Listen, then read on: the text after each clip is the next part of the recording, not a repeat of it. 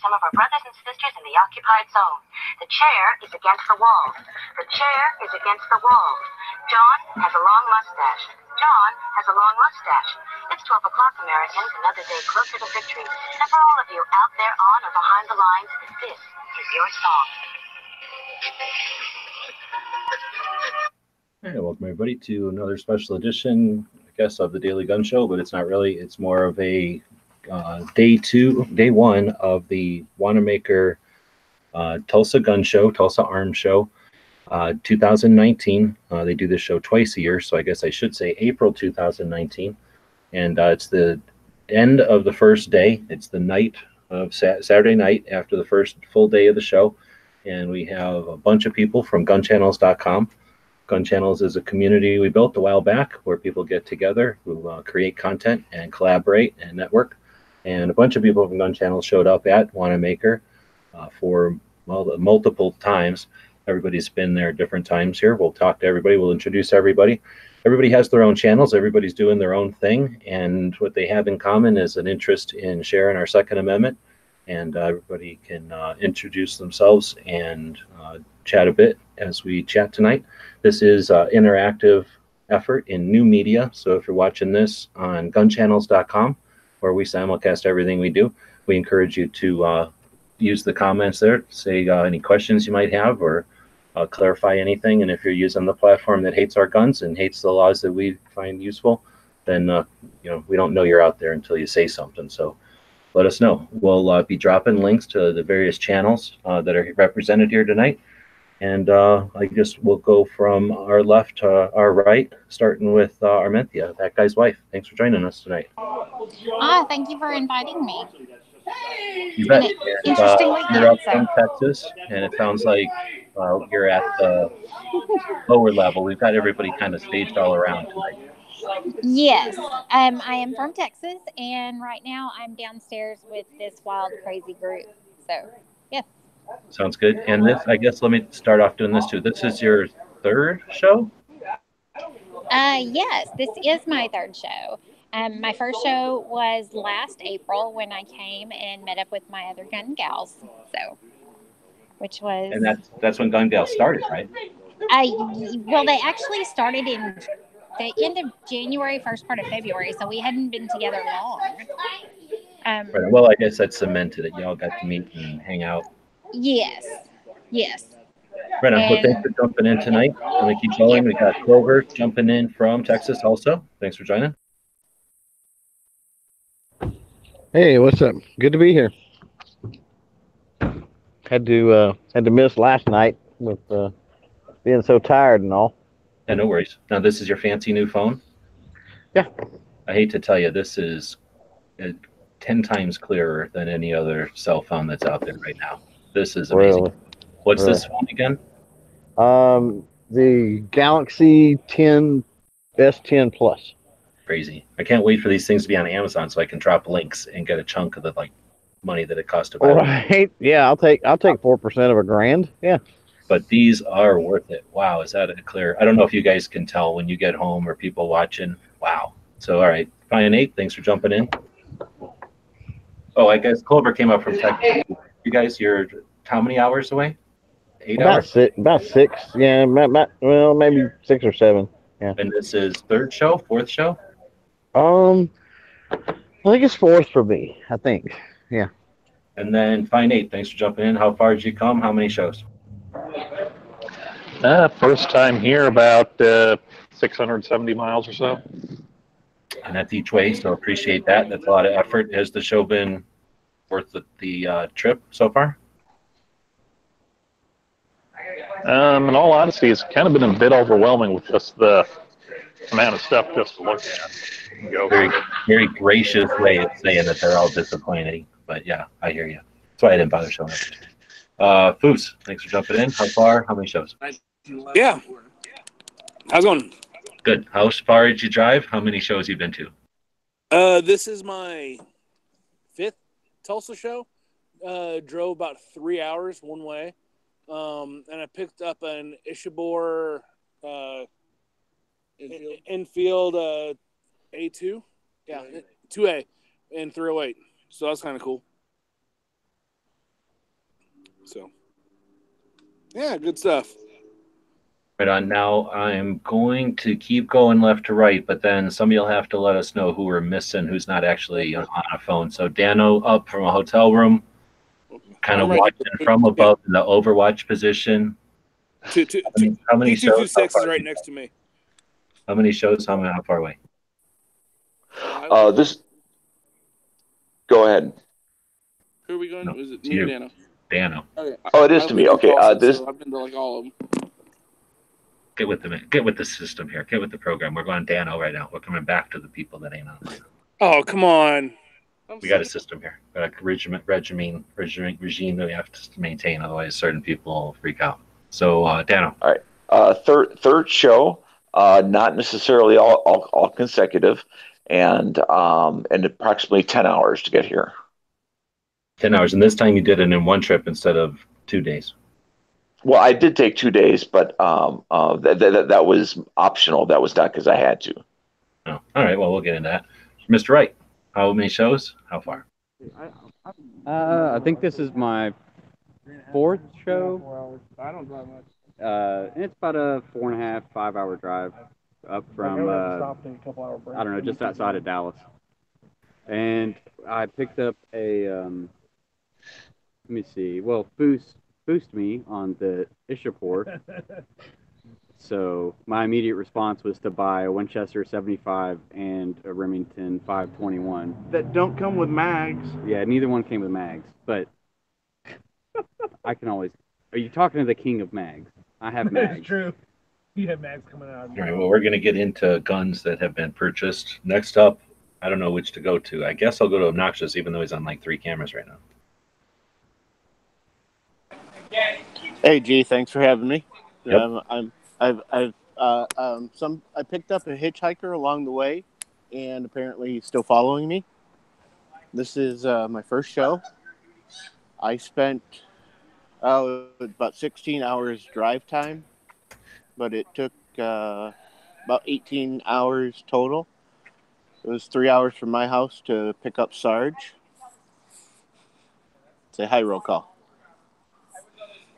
And then uh, I picked up Sarge at his place, and we drove the rest of the way out here and got in about 2:30 Friday morning.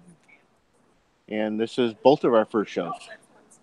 Right on. Well, I think right there, that's a whole nother thing to talk about because that's uh, pretty cool. Then we got Sarge, I guess, jumping in next. And Yes, sir. Yep. I'm here. well, I appreciate the the same thing.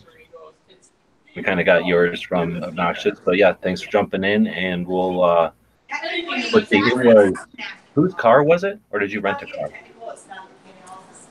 No, we my rode truck? in. Yeah, we rode in his truck. Okay. So, um, well, I'll just since we just got here, we'll jump back to Snob, probably the closest, maybe not. No, actually, no, you're the second closest. Yeah, thanks for having me. Uh, You bet. yeah, took me an hour to get here, and I'm driving home now. And I couldn't even tell you how many shows I've been to. I've been coming since I was a little kid. Well, that's what I was going to say. You probably got where everybody else has mileage on you. You've got number of years at the show, so that's going to be pretty neat. Um, then now let's try to figure out who all is not holding a camera. So we had Nut before, who's the closest. I think he lives like you could probably shoot at the building from the show or from his place, right? Yeah, like I could walk to the show. And then uh, again, you've been going your whole life, but uh, I don't know. Um, thanks for jumping in. We'll uh, I don't know. Is there anybody else who written out there, all out there? We're under a truck now. There may have been an incident.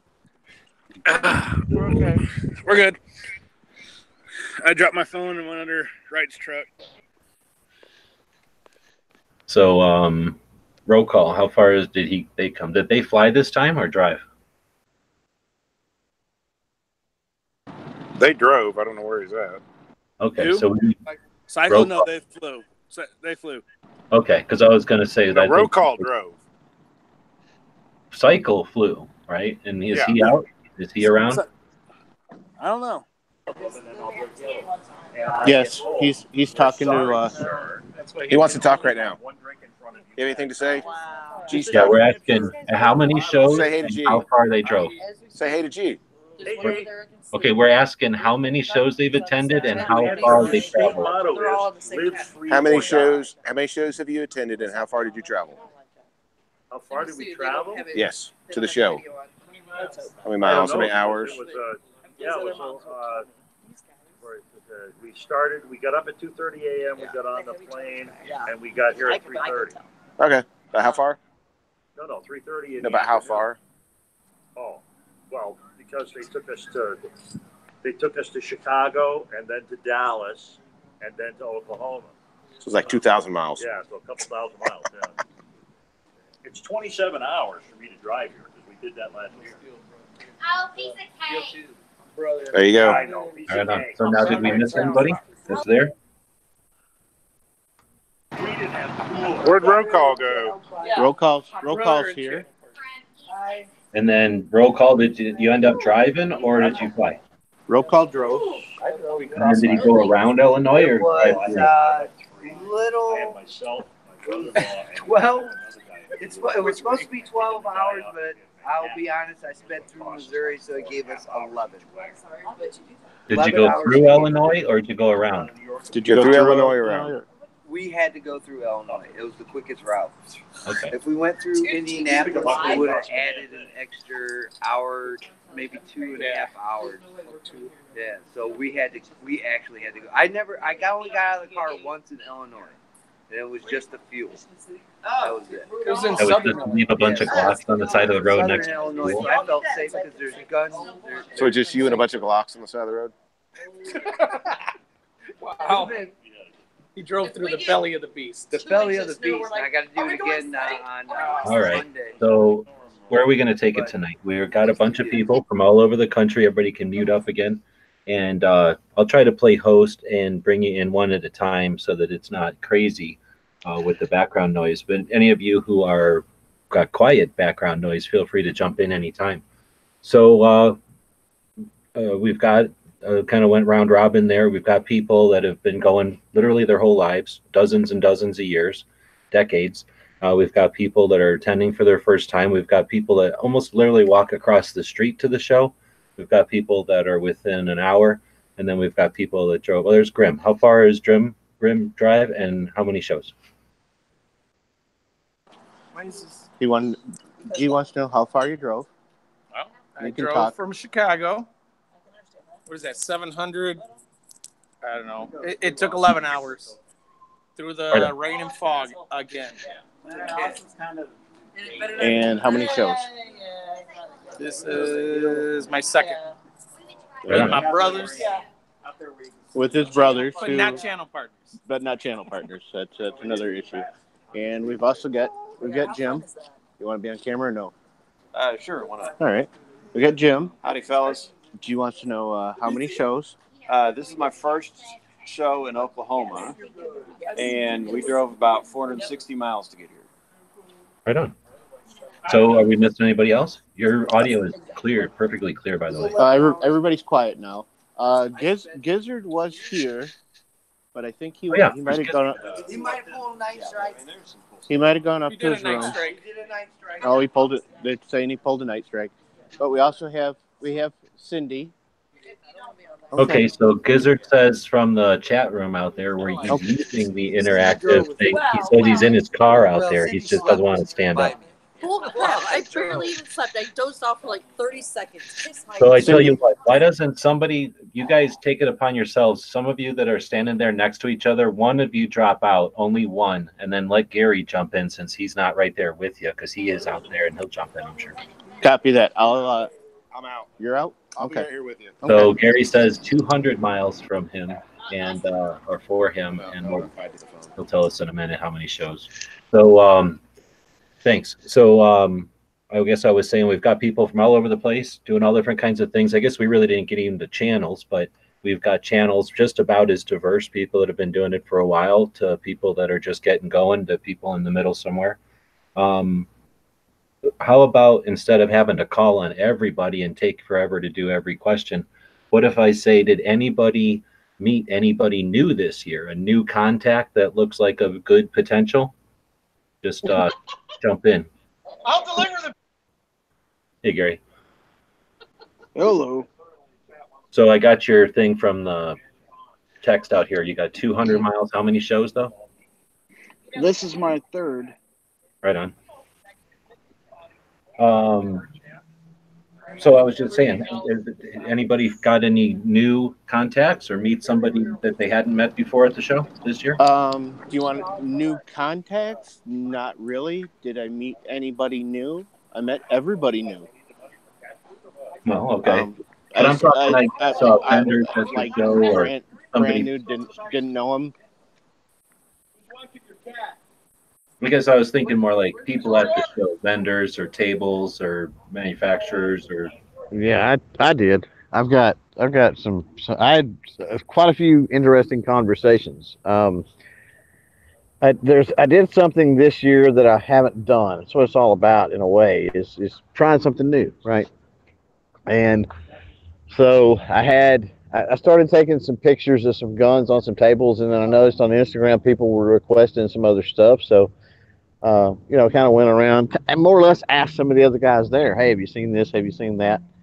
And then went and uh, and did that. So I've spent I spent quite a bit of time today at um, I don't know how you would put it, like collectors tables, people that that bring their collections, and it's not like they don't sell them or they don't trade them, right?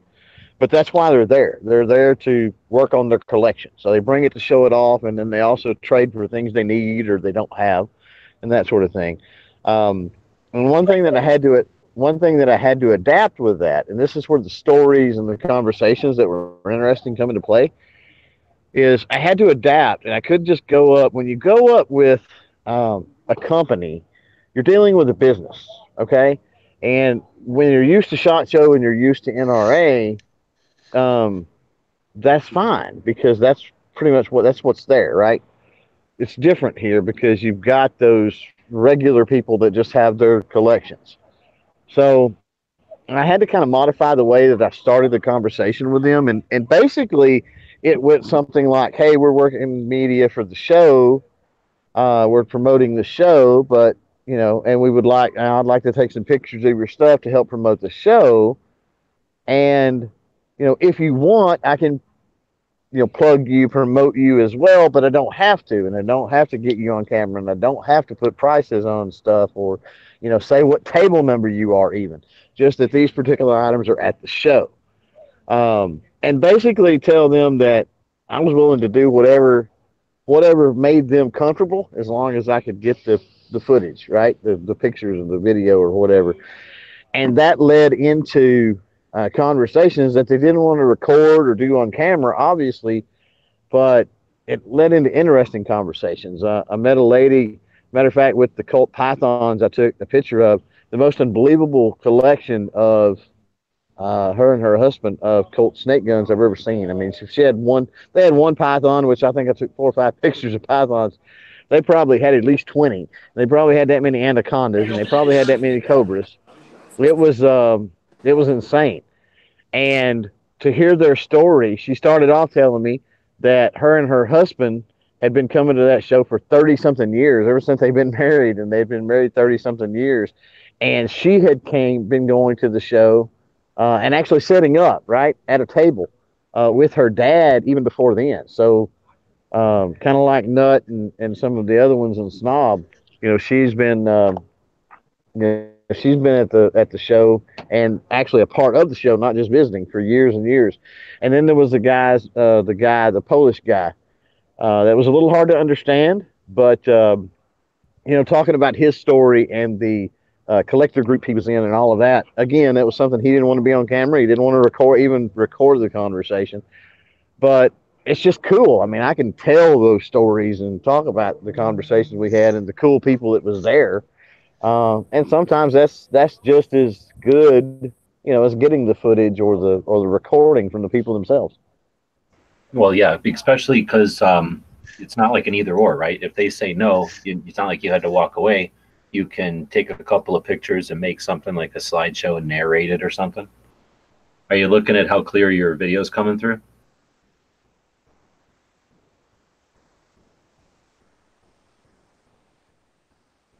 I'm sorry, G. I had I had uh, the doctor in my ear. What what'd you say?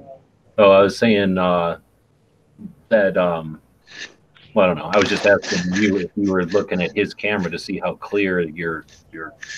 I can see it on I can see it on mine, uh, and it's it's freaking outstanding. Uh, his uh, on on obnoxious is not that good. like- But let me tell you let me tell you something about the about this phone that I didn't notice until I've had it for less than a week, right?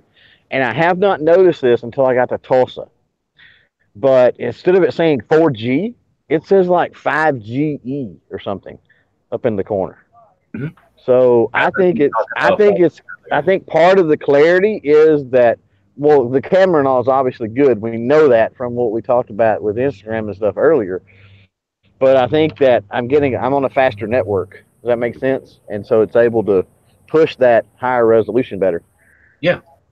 Well, whenever you get near a big town, you get better odds for good connections, especially if there's Yeah. like tech or like you got good industry in that town, so they're going to have money for good in, for good infrastructure.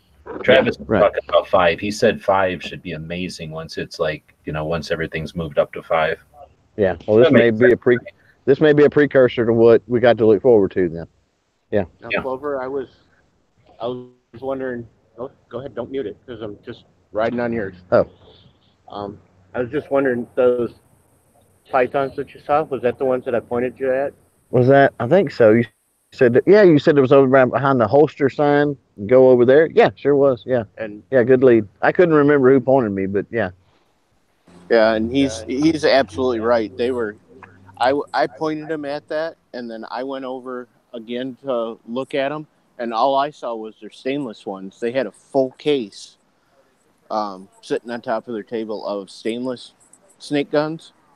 And then when I went over and looked at it again, they had another full case at least of blued snake guns. It was it was amazing. Oh yeah, it was. I couldn't imagine the amount of money just in Colt pythons and anacondas they had.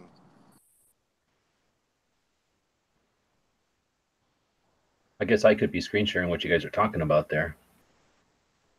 Well, and we know from um, I don't remember what show it was, but we know that um, you know some of those collections that they show up with are, are literally millions of dollars worth of guns. We know that because the one dude that came in and just bought out the you know another dude's entire collection. Well, I did see a double barrel shotgun that was literally eighty five thousand dollars was what they had listed at. Was that just because of like of how fancy or like expensive it was, or was that because somebody owned it or it did something awesome? I don't. They didn't have anything listed about how you know anybody who had it. It was just very fancily engraved, and then uh, it was a real nice shotgun.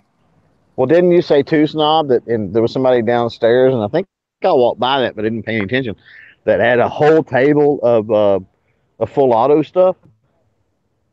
That wasn't me. Somebody told me that. I Okay. heard it.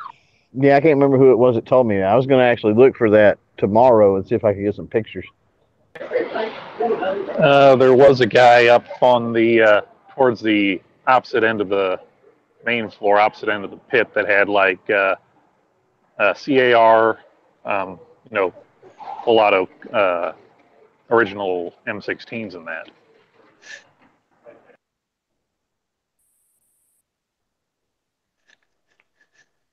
Well, I think I originally was asking, since we got dead air, I was asking if anybody made any contacts or met, hooked, met, met anybody new or, you know, had a good Um, We, Go ahead, fine. Okay. Um, yeah, I got to meet uh, Rob uh, Rob Leahy from uh, Simply Rugged Holsters. I've been wearing one of his uh, belts for about ten years or so. Been using his uh, concealment holsters for about the same time. Uh, yeah, just kind of a real nice, personable, uh, chatty person. Found out that his father and mother were both from uh, from Minnesota, so that was pretty pretty neat.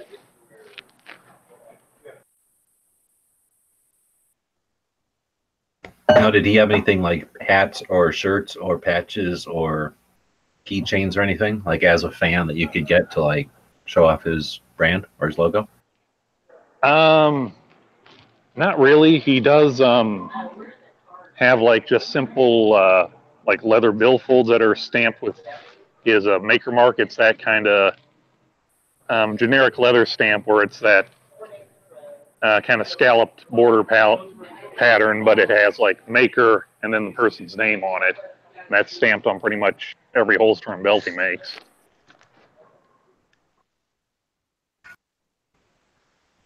All right. Well, Armenthea, you were about to say something? Did you meet, meet anybody new? Um, I actually did, um, but it was. She makes uh, custom jewelry out of ammo, um, and she actually uh, is going to be the jewelry, or she's going to provide all the jewelry for the fashion show that they'll do at NRA the end of the month. I know that's a little outside of the gun stuff, but um, that was pretty awesome. And she made a point to talk about hiding Hilda, uh, who does concealed carry bags and such, uh, which will be awesome. And made a point to uh, to make sure that we were in contact with hiding Hilda. So I thought that was pretty awesome. Did you have a bunch of time to walk around today, or were you doing other stuff today, or was We- it like looking for new people? I did walk around. I actually met several new people. Um, there is um, a guy. He's a young guy. He's like 23, and he does uh, metal art. Um, that I'm going to do an interview with tomorrow, and then um, of course I met some of the same people from from last year. Uh, of course, I had to make sure that I stopped by and said hi. And then there's a lady that um, makes uh, custom jewelry also. So say say you take your your daughter or whatever out uh, shooting for the very first time. Her very first uh, um, shot she fires off, she can take that casing and make a custom piece of jewelry to commemorate, you know, that that event, which is something you know that that you would be able to keep forever and be able to say, hey, this is from when I did whatever, whatever, which is pretty freaking awesome. You know, it's kind of Yeah, I'm, I'm a something dude. that's got a That story sounds behind it. awesome to me. I mean, that's got to be the Mhm. same for a girl, right? Getting something like that from her mom or her dad or grandpa or grandma. Right. See, I think that's freaking cool. Um, also, what she was talking about, because she does custom jewelry, like, um, so say, say I shoot 380. So women specifically, or especially, I guess, um, when they want like ammo jewelry and stuff like that, and I didn't realize this, but most of them want it in the in the caliber that they actually shoot, which is freaking cool. Because I, I would have never thought that. I've been like, oh, okay, this is cool. I like this. But they're very specific. This is what I carry. This is what I shoot. This is what I want my stuff in. Well, that makes sense because half the time you ever see like a keychain, it's like here's your 44 Magnum keychain. Be on your way, just because it was Mhm. big or it was cheap or yeah, that's kind of neat.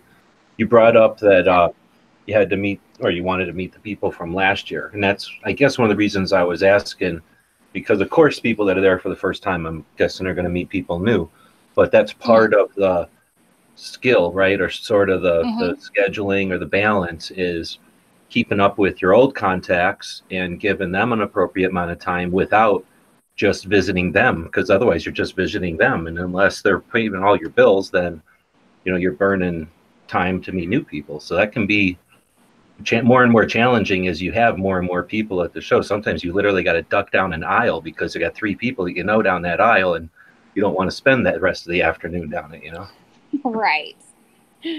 Um, I know Liz did uh, an interview with Camille Conceal, uh, who does um, conceal carry purses and stuff. And so um, she actually had uh, emailed us back and forth on our Gun Gals Facebook page.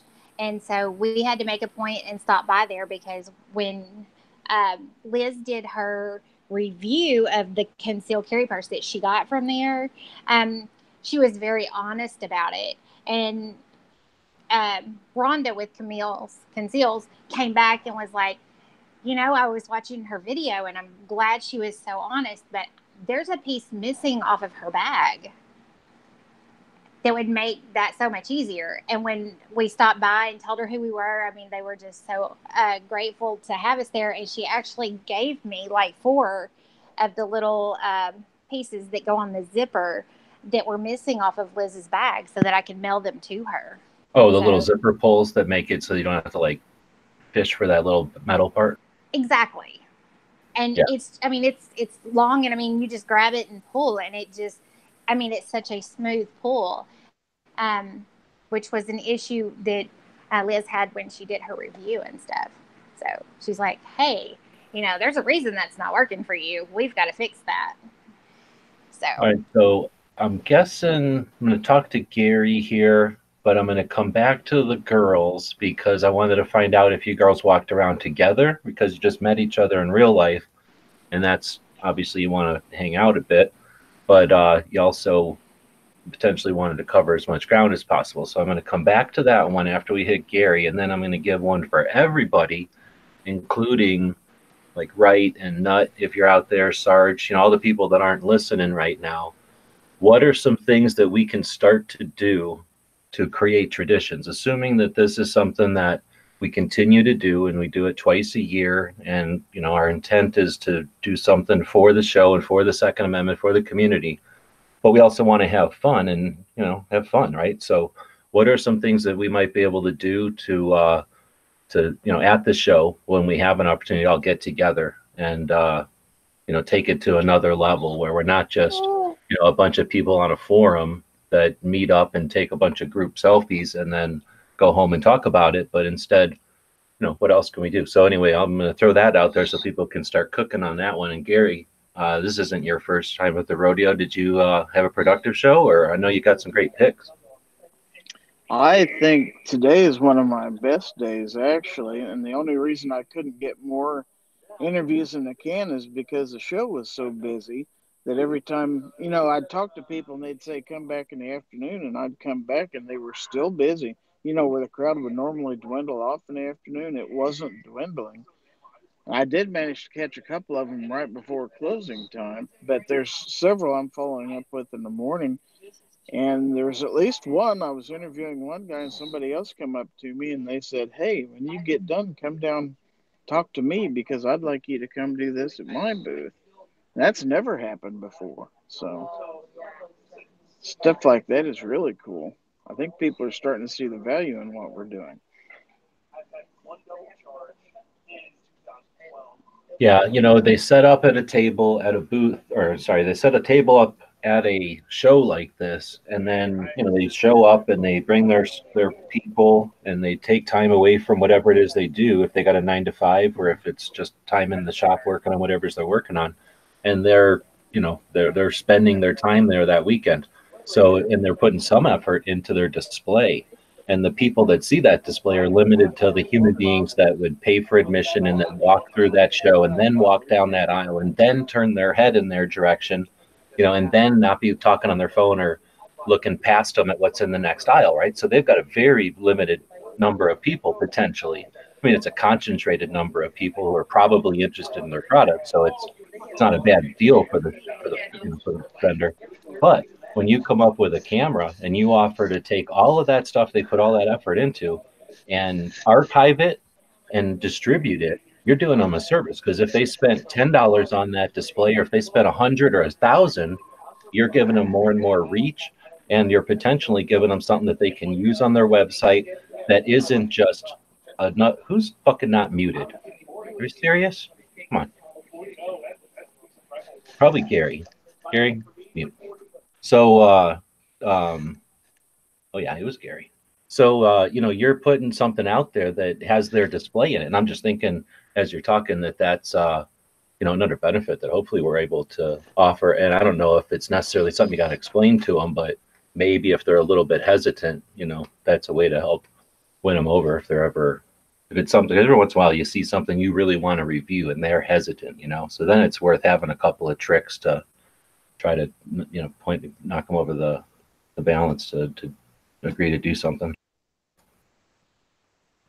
All right, was Gary? Were you done, or do you want to? Did you have more to talk about? Uh, the only other thing I could add was the location of the table this year made it a lot easier to reach people because we had a lot more people who saw us, and uh, therefore, I think we had a lot better visibility. And where we didn't necessarily have the room to all sit down and everything, but the foot traffic was way more we normally used to have, and Yeah. people were actually stopping and watching and looking at what we had to offer. I'm gonna keep going with this, and then when we're done, we'll go back to the table because I, yeah, that's something that I think we could probably all chat about. Or chat, add into, put add, what the word? We can all contribute to that one. So, um, Snob, did you want to chime in? You've obviously been to the show for a while, but uh, this time, it was this the first time you're going like as your channel, trying to you know create reach? No, November was the first time I went as like media as a channel and doing that Okay. stuff and doing interviews. That's the first time I'd ever been anywhere to do interviews. Okay. But no, I had some interesting things happen. For one, I was getting some of my camera stuff out of the car, and this lady in her seventies, and she was I'm calling her a little old lady. Her her name was Barbie, but she was just sweet as can be. She's like asking me what I was doing. I was explaining to her what I was doing. She goes, "Well, do you tape little old ladies?" I said, "Well, I sure will." And she's been coming to the show. I think she actually said in the video 17 years, but I guess she's been. It's not. I mean, this is like her 17th show or something. But maybe she doesn't come to every show. That's how I understood it. Because she said her son's 40 now, and whenever he was six, she would put him a rug under the table, and he would sit on that rug and play with his little cars during the show.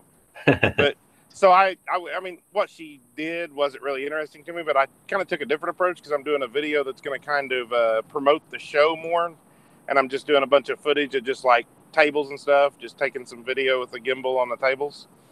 I so I it. went ahead and I went ahead and just got an interview with her, just talking about her experience at the show down through time. I'm gonna try to find a few more people and just kind of splice that in the video as it goes along, just parts and stuff of it. So that was pretty neat. And you know, That- I was just really shocked. like- I really like that idea. That's really sounds cool. I'm totally stealing that idea. Uh huh. Uh huh.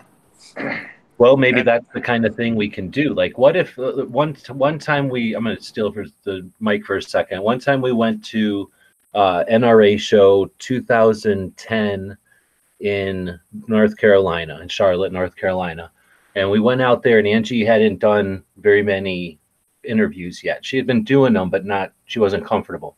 So um, I suggested, well, just ask the same question to everybody because it might be interesting to see you know everybody's different you know what's different about everybody's answer. And she basically went up and, and explained like i'm new to ccw i just got my permit i live in arizona i'm a mom what would you recommend? And then she went to like sig and ruger and i don't know whoever went to all the different companies. And it was really neat because you know it was just every company was like you're a lady so you want this or you're a mom so you want this or you know like they were all like looking you know looking her up and down and saying this is what you want and then she got to the last one, I think it was, at least the last one we put in the video. And Sig said something like, something more like, well, what's, what, what have you shot before? Like, what experience do you have? Like, what do you like? And that was just amazing to see, like, you know, the same thing, the same thing, the same thing, and then something totally different. Now, that's not the only way that it might play out, but I just thought, you know, we had no idea that it would even have a result uh, like that. I just thought it was going to be an easy way for her to just ask the same question all the time. So anyway, I think how neat would it be? I was suggesting this at Shot Show if everyone were to end every interview with what Second Amendment organizations do you support, and then just as a project, as a group, I guess I should say, we could literally all just contribute that little slice of each video and have one massive video of all these different people. The beginning of the video where they say, "Hi, I'm so and so with such and such company." And then at the end, and you know, this splice in, and we support Gun Owners of America, or we support FPC, or we support Second Amendment Foundation, or whatever happens to be, and then have like you know we all contribute to one big video of like what Tulsa can you know what Tulsa finds important, you know what what Tulsa values or something like that. But that's just an idea of like something that we could each contribute to. I keep saying we like I'm there. We, what you all could do to make us have more stuff to watch anyway, I cut somebody off, and I'll let whoever it was have, have the mic again. I think it was Snob. Yeah, I was just the only other thing is I had Well, I was walking around with Sarge this morning. I spent most of my morning just walking the show. Didn't even have my camera, nothing. Just trying to meet people and you know get to talk to people and see about doing interviews and stuff like that. And then Sarge introduced me to the guy from Wild West Guns out of Las Vegas. He said he talked to him at Shot Show and introduced him, and you know he recognized him and stuff. So I went ahead and interviewed with him. But when I went to go do the interview with him, there was another guy there at his booth talking to him that has some suppressor company, and I don't remember what he named, what he called it. But anyways, he's like talking to me and just asking everything. He's like, "Man, I'd love for you to come, you know, see us at." He asked, well, we got to talking about NRA that I'd be at NRA. He's like, "Yeah, I'd love for you to come see me at NRA. We'll shoot a video, you know, blah blah blah." So that was pretty cool. And then I also interviewed a rifle company that makes like an eight thousand dollar, basically, a, it was a military. It was a, what do you call it when they put it up for test with the military or whatever? So it was. It was a barrel. modular bolt system. Yeah, yeah, that's what the word I was looking for. But uh so anyways, it was that rifle and uh, they're going to be at NRA. He's like, "Man, come back and see us at NRA. We'll have a lot bigger booth and all that." So that was kind of cool. Other than that, that's all I got on that. Okay. Well, anybody else that uh, was there want to throw in if they had success or failure with uh, meeting people? Because we had people last year that were having some issues. And one of the things that we do this get together for is so that we can uh, find out if someone's having issues so that we can help offer advice or counsel or coach tomorrow, right? So, you know, either way, if anybody has an experience to throw in there, let's do it. I Uh, kind of something- Go ahead. I kind of piggybacked on uh, Sarge. He was going to go do a couple of couple of interviews. He went to uh, when you say piggyback, does- like you came up and Bidened him while he was doing his thing, or no, not not at that that time. I I Bidened him earlier this week. So, but uh, I uh, he was going to do a couple interviews, and this is obviously my first anything. Sarge went to Shot Show this year, and uh, so I kind of went with him, and he was going to do a couple of interviews, and I kind of hung with him, and while he did those, and I kind of took video of of what he was taking video of when he did it. So Sarge and I will probably release two very similar videos. I'll let him get his out, and then I'll put mine out sometime later. But I I used uh, what I learned from him doing those two, and I went to a booth that was Cold Fire. Uh, got the card up in up in the room, but it was Cold Fire Weapons Training. I think. it Cool was. Fire Trainers. they- cool Fire Trainers, and they actually make uh, a little CO2 insert that you put in your in your pistol, so that you you can have uh, actual kind of like live fire training sure. with uh, with no live fire, and that was pretty cool. And I did an I did an interview with them and and got a video from them that I'm planning on put. That'll be my first one that I put out from from the show here. And I'm gonna try and get uh, with Fort Scott tomorrow. Today I spent most of most of my day today was just kind of taking it in, and hopefully tomorrow I can get some interviews in the can and and get a little bit more polished on it. Oh, snap. Okay, I totally forgot about that. Thanks for bringing that last part up there. We've got people that haven't been to the show before, and we didn't do a very good job of asking them how overwhelming it was or, you know, just getting their impression. Because I think that's one aspect of the show that new people can offer that nobody else can. You've been to it once or twice, even just walking into that building, you've experienced it. You're not going to be surprised by anything else again because you've seen 11 acres of human beings there to participate in the Second Amendment. So I'm going to add that to the list too. So you guys that are new, guys and gals that are new, um, we'll come back to that one. Uh, but anybody else want to talk about people they've got to meet up with or not? Or we Uh, yeah, uh, I'd like to talk in general. Um, is uh, uh, generally uh, since the table was not uh, towards either the concessions uh, nor Keeping the restrooms. Keeping in mind that we're going to talk about the table specifically in a minute. Right. I'm going to talk about engaging with people. I'm just getting there. Okay. Uh, is, is people are uh, walking by by don't have a destination in mind. They're they're walking through walking through. So it really opened up people who were walking to engage with them, and they were much more willing to be engaged about, oh, what is gun channels, and then tell me a little about bit, bit about about it, and uh, and and and and some of the other things, and there was was much more of an engaging experience than when I've worked the table in years past because of of its location, but w- with the general public rather than a specific contact. No, that's super valid because that's really part of the reason we've got the table there, right? Is outreach and just awareness. So awesome. Um, we got roll call out there. He's been here before. I don't know if Grim's still hanging around. Um, who else is out there? Nut, Foos, right? I don't know if somebody's got a camera near any of them guys. Sarge, Sarge, they're uh, they're all over talking. Want me to call one of them over? No, Sarge, roll no, no, no. That's all right. If they don't want to be participating in this chat, then we don't have to waste our time and our valuable audience's time to waste time for them. We'll keep moving. So, Armenthia and Snob's wife, did you guys hang out together? How'd? Absolutely. Which this isn't the first time we've met. We met actually In November? In November, yes. Okay. And hung out most of that.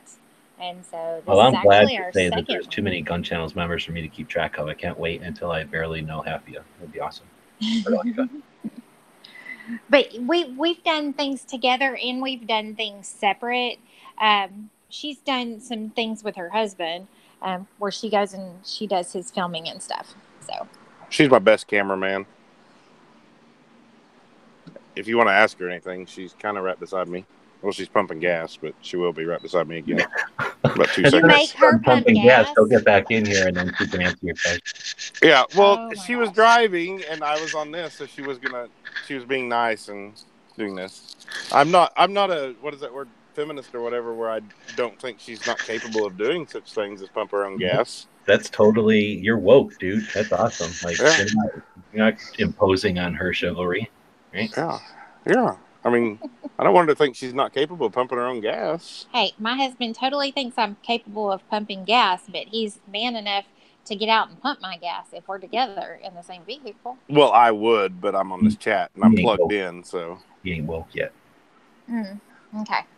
All right, so uh, so stay together then and uh, attack the show that way. We actually did it both ways. Uh, we've done it together and separate. So, um, Right on. Just- so was we it uh, like a plan you had ahead of time? Because I think you're the only two that really went in as like gun gals, right? Like everybody else had their own thing. Nobody else is teamed up. I mean, I guess Guy has his kid, and well, Cycle's not really his his brother's not helping him, right? Grim's brother's not really doing nothing. So for Grim, I mean, but uh, you you two are the only two that are really like collaborating on the same project, right? yes. So is it something you came up with a game plan ahead of time, or just winged it?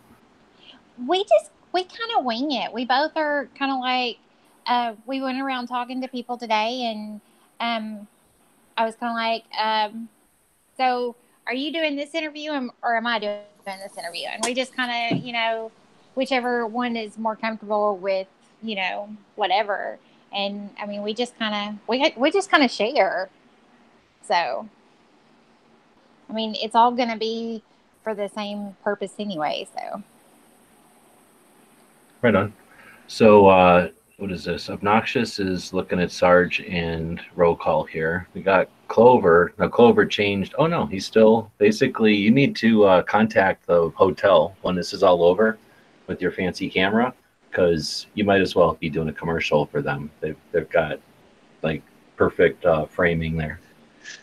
And whatever this two bit computer company is over here on the other side.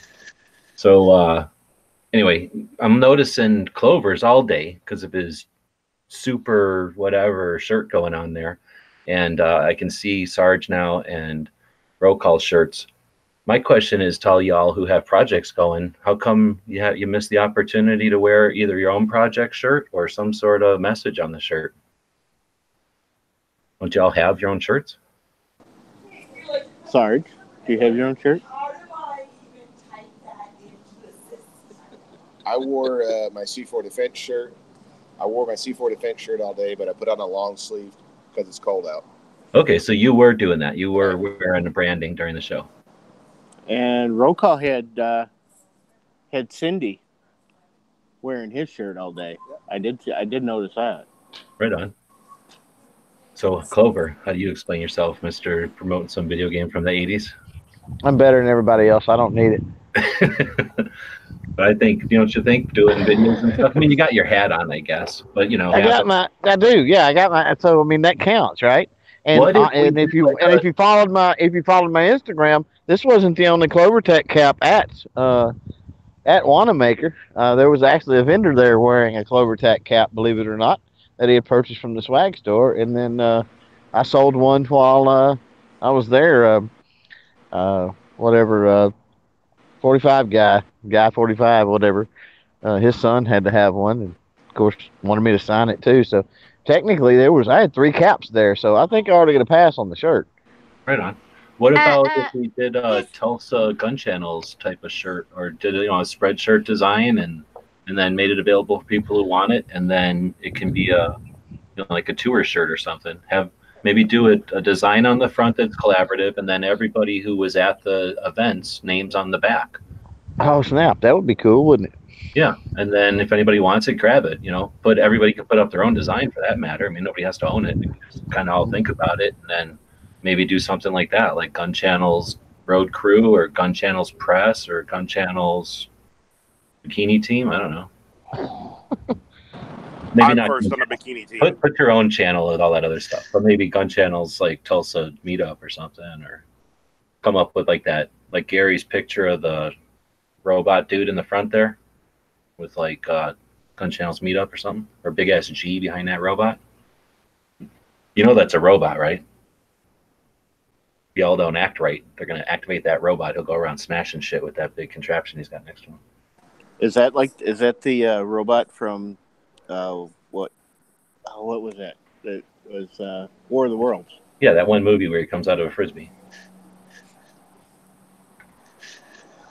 Okay, so let's see. Now we can go back to that table. I think we're caught up with stuff, uh, but we maybe we can talk about um, people's experiences as they show. So why don't we leave the table? Because I know Dano is going to be up all night, so we can talk about this at any time later. Why don't we talk about, uh, why don't we talk about the you guys that are at your first show and what was it like walking into 11 acres of 4,500 tables, knowing that you got a press pass and a support crew, and you have basically access to that whole show, and your channel is about to go nuts. You're about to explode your channels in a good way. What was it like? Who wants to go first? I'll I'll go. It was it was walking in there was uh, sobering. it's it's every bit as big as you think it is, and then it's bigger. Did you get scolded Scolded for photoing? for photoing? No, I didn't get scolded for I got photoing. scolded. Sarge says he got scolded for photoing. I actually had uh, three or four people ask me about my camera rig. Yeah. and because I because I kind of built it myself off of parts from Amazon, and I made it kind of modular so I could make it as as big as I wanted or as small as I want if I really wanted to go small with it. And I had. I had uh, at least two people take photos of the name brand on the one part of it, so that they could, so that they could look it up and track it down. So that was kind of cool. Dude, that sounds like you need sooner than later. In fact, I would encourage you all to be making videos in your hotel rooms. You paid money for those hotel rooms. Do videos in the hotel rooms. Use the backdrops, use the bathrooms, use the coffee pots or something, but take advantage of the, you know, the unique backdrops, you know, and anyway, it documents your own stuff. 10 years from now if you're still doing this, trust me, you'll be thankful that you have documented something about your experience in Tulsa. But anyway, uh, do videos on your gear because if you say you bought everything on Amazon, guess what? Anybody who has that much interest in what you put together is going to click on those links and buy stuff on Amazon. Fund your projects, build that into the mini, into it from the beginning. So uh, document your journeys here. Your rented cars, document that and your experiences. The restaurants, it's all valid stuff to document. People are interested in that. All, we're all human beings that eat three times a day. Anybody that suggests otherwise isn't paying attention to the internet. And the gear is uh, definitely a way to do some funding. So I'm curious uh, how you guys do it. And I'm again, if you do this for any length of time, I suspect you will be you'll you'll, you'll find it interesting to go back and look at your old camera gear. I can almost barely remember my old camera gear, but I do have videos on most of it. So if I really wanted to, I could go back and check something out. But all that time it was cooking. You know, the reason the way I was making all that money on YouTube was because I had videos of the suitcases and videos of the watches we were carrying and videos of the hotel rooms and I would bust out my bag of uh, stuff that I brought, whether it be I don't do I never did clothes because who cares about my clothes, right? But my uh, first aid stuff, my guns if I brought them, uh, my my camera gear and stuff like that, my computer gear. So uh, that kind of stuff is is interesting to people and and potentially lucrative. Okay, so I interrupted you there. Um, we were talking about uh, being at the show for the first time. Do you have more, or do you want to throw somebody else? Um, the the the big thing for me was just going in there and seeing just how big it was. I mean, I like I said, I'd heard from everybody and how big it was, and you get there and you're still not prepared for how big it was. So I can I can just imagine like Sarge went to Shot Show first before he did this, and how absolutely massive that must have been as his first thing. And uh, yeah, I spent I spent today kind of on on just wandering around and looking at everything and kind of just checking out seeing if there was anything for me. And then I got a couple of I got a couple of things in there you know as far as quote unquote work if you want to call it that. And but tomorrow yeah I'm, I'm probably going to spend tomorrow doing the uh, trying to get some more interviews in the can and doing more of that and I'll, I'll still look around and see if there's anything that catches my eye personally. But I think tomorrow's going to be more of a of a work day. I have a question for Obnoxious, being this his first show and whoever else. Was your feet prepared and your shoes prepared for it? Good one. Absolutely not. Absolutely not. Um, I don't know if my feet will ever be prepared for it, but uh, yeah, I gotta, I gotta. No, Sarge says his knees weren't prepared. I've, Did any- I've definitely anybody- gotta get some Advil tomorrow. Did anybody wear one of them thingies, or does your phone tell you? Did you keep track of how many miles, steps you walked? Um, I got one on my watch, but it's kind of since it's on your end of your arm instead of like your hip or that, it doesn't keep total accurate count. Uh, let's see, when saying eleven thousand five hundred and ten so far today. Does that tell you how many miles? I had six miles. I had Fort- six miles also. Maybe that's a, something that we can do as sort of a friendly competition, and then we can all tell Angry to suck it because we all together walked more miles than he did today. Six point five seven miles. I'm winning. I know I've walked the thing to see how many it is, and I want to say it's either 11 or 14. I don't remember. When you walk every single aisle with the side aisles, or whatever you call those side wings. Anybody else that's their first show want to relate their experience? I'm It's like- fixing to drop. I'm fixing to drop, but I'll be back in as soon as I get home. Just FYI. Right on. Anybody else Uh, that uh, mirrors somebody who's near new? Yeah, it was uh, my first show. Actually, uh, got into Tulsa Thursday. Got settled into the hotel. Went out to find some place to eat, and figured we'd, since we never been here before, go and just look at the outside of the convention center or the expo center. And a little awestruck just about the outside of just how big it was. And then today, going through the uh, exhibitors entrance and that, and going inside, it's like I was not quite prepared for this, but I don't know. It was just kind of kind of a lot to process, and then kind of trying to, uh, you know, find either interesting thing things to either take pictures of or people to talk to. So, you know, Yeah, well, it's a lot to do. I guess one of the things we may have failed on because we did a lot of organizational. Well, we didn't do enough organiz. I don't know. I'll ask that question. You guys are the ones that are there. If we did enough pre-organizational work or not, but maybe a little bit more uh, effort to the pre-intro or whatever the word would be to uh, give people who are going for their first time you know some of the suggestions that we all talked about when it was everybody else's first time you know about business cards and wearing comfortable shoes and maybe bring. bringing since we have a table bringing something to eat so you don't get uh, screwed on the concession prices or something like that. Uh, picking up catalogs right? There's those catalogs that i'm hoping somebody will grab me a catalog or two um, you know that give the map and the vendor list basically. There's a really cool catalog up at the whatever you want to call it, like the sign in like the the, the the promoters area of the show on the south side of the building They've got a, a magazine which is devoted to gun show promoters, and if anybody wants to grab one of them, I'd appreciate it. Um, it's a eight and a half by eleven magazine called like the Big Show or something, and it's basically like this big magazine that's that has all the gun shows in it, and it's sort of a promoter's angle. Maybe it's for the big vendors that go to a lot of shows or something. But anyway, there's some really neat magazines up there. Sometimes uh, publishers will have magazines for free so anyway, maybe do something in the future for the people that are there for the first time, and then heck, somebody could be there for four times and not know about something. You know, it might be worth talking about different tips and tricks that we like from the show or that we use at the show. Anybody else new, or were you done? Nate? Well, I will say for anybody new that yeah, I, I didn't have any business cards, and I regret that I don't have them.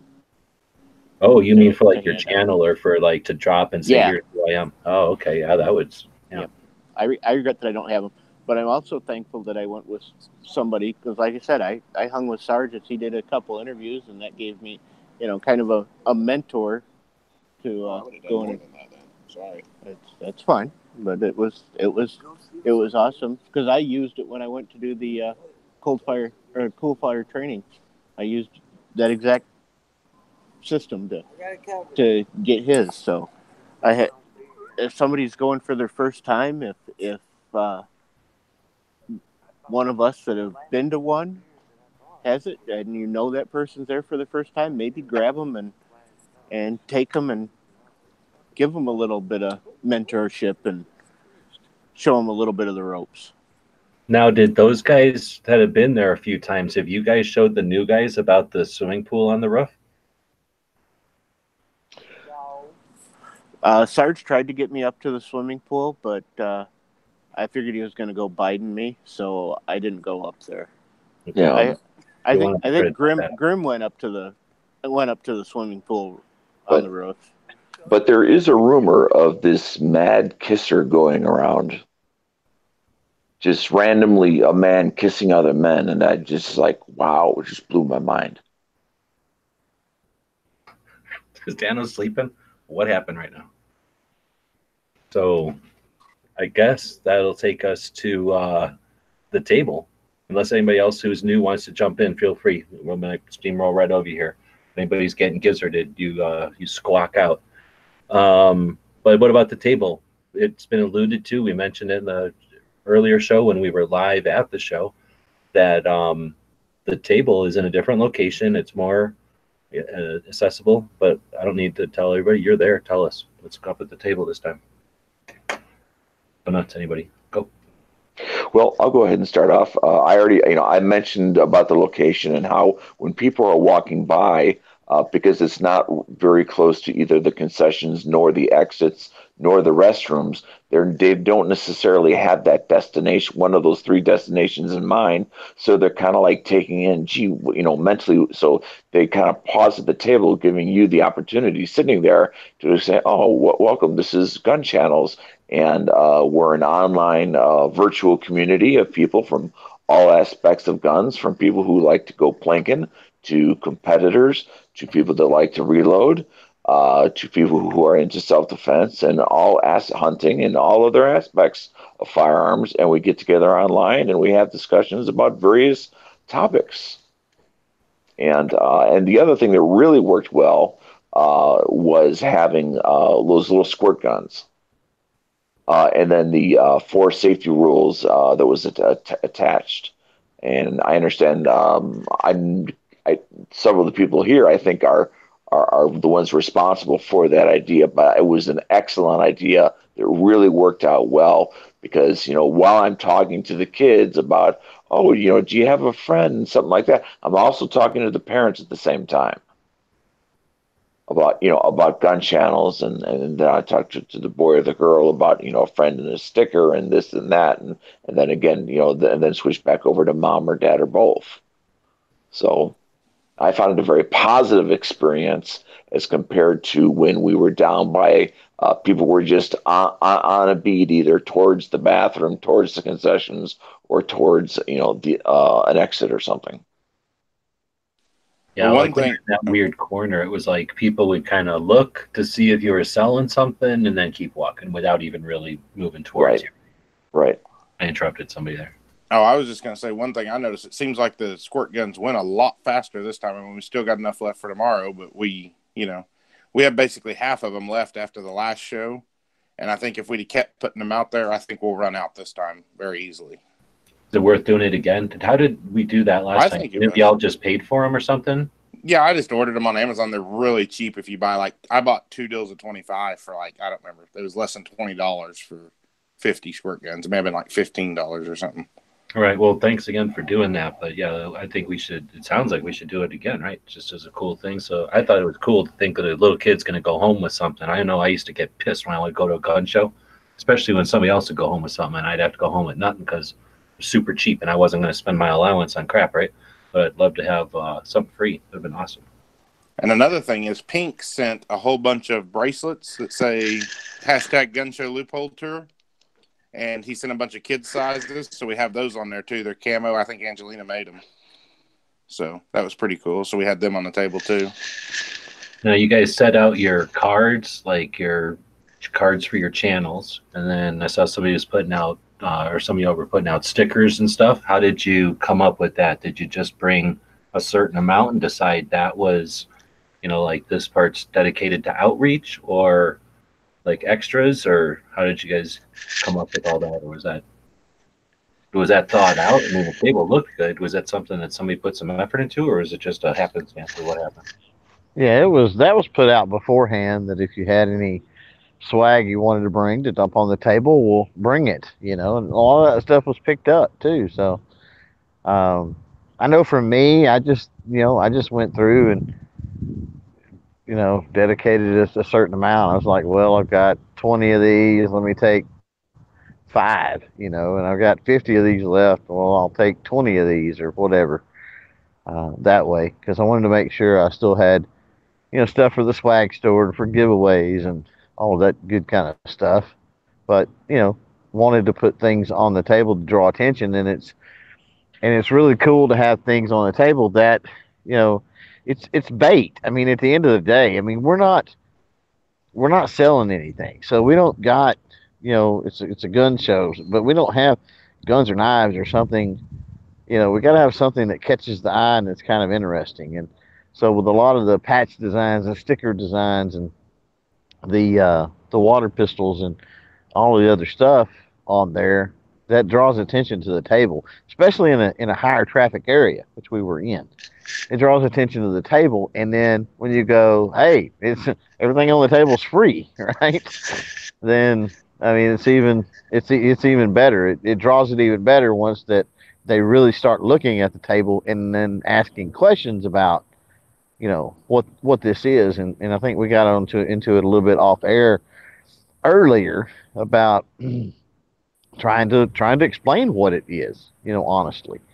Um, because the the initial because the tablecloth says you know gunchannels.com and uh, all of that the assumption is that you know basically we all work for this place called gun channels and so it's trying to let everybody know that no, it's a bunch of individual efforts and a bunch of individual channels and projects and that sort of stuff. And so we kind of come together under that umbrella to, to cover the show, to get, um, you know, get the show out to other people.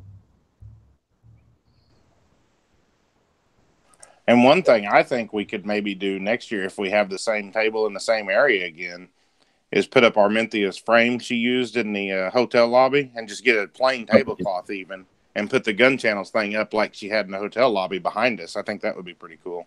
Well, no, we can get more tablecloths, but yeah, exactly. Having it, having something behind and on the table would definitely give it a, a way more professional look.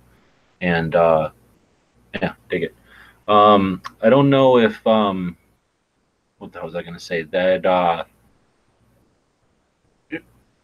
I don't know. Um, I don't want to get into it tonight because I'd rather talk about this show than talk about gun channels and what we're doing at this show because that's just too meta, right? We're we don't need to look at what we're doing 100% while you guys are there. We can always look at it after.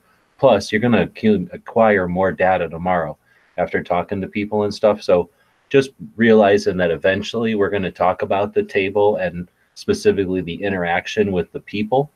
I would only ask maybe to, to close this section of it, unless there's something else somebody wants to throw in, of course. But uh, to maybe keep in mind like what kind of questions came in. I mean, I'm assuming it wasn't the same question from everybody, and I'm assuming it wasn't a completely different question from everybody. So there's got to be like a few kinds or groups or types of questions, and maybe we can come up with some ways that maybe our signage or a handout or something could address some of the basic questions like you know maybe i hate to do it because i don't i hate facebook but if you know if we said something like facebook for guns everybody would know in a minute what that meant right?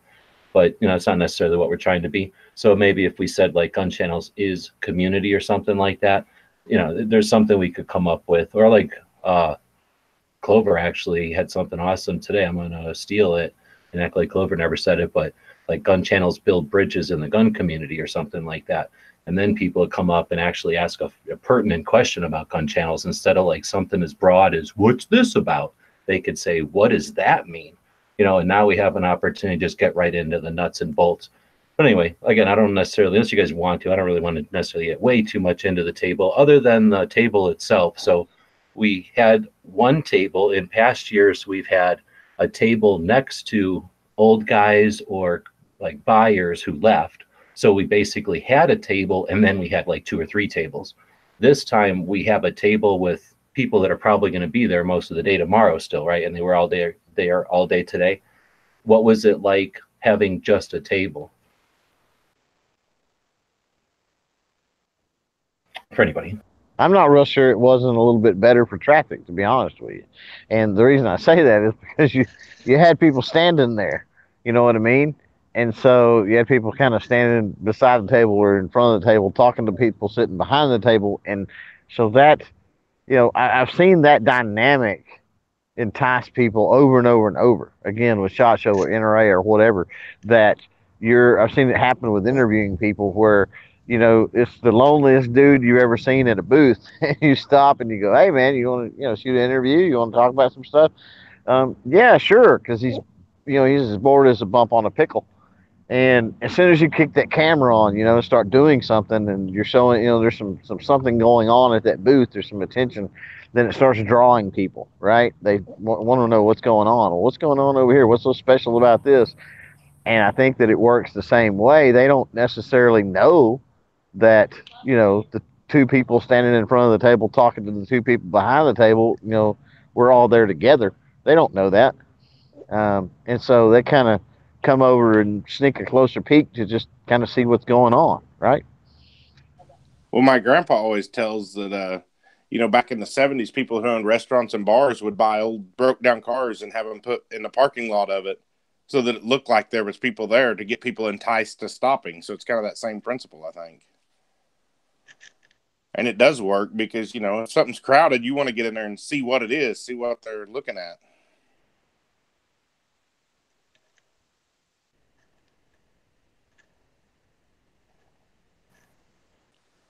It wasn't the greatest not having power, but it really didn't bother me any because oh, especially where we didn't have another table, it wasn't that big of a deal because there was really nowhere to set up a laptop or anything anyways.